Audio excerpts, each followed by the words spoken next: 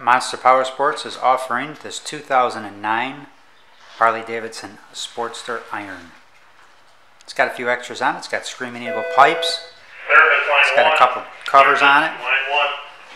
Different air cleaner cover.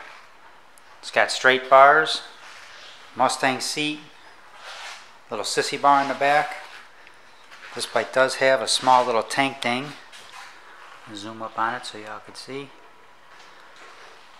Get you the VIN. You can see this bike and a lot more like it at www.monsterpowersport.com. We do service and safety inspect all of our bikes before we sell them. You get a 30 day warranty.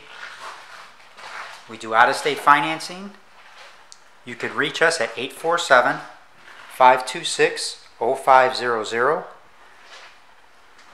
This bike is also on Cycle Trader and YouTube. Looks like it's starting to peel a little bit here and here. But other than that, real nice bike. It's got a trickle charger on it already. Let's fire it up for you. Zoom in on the miles.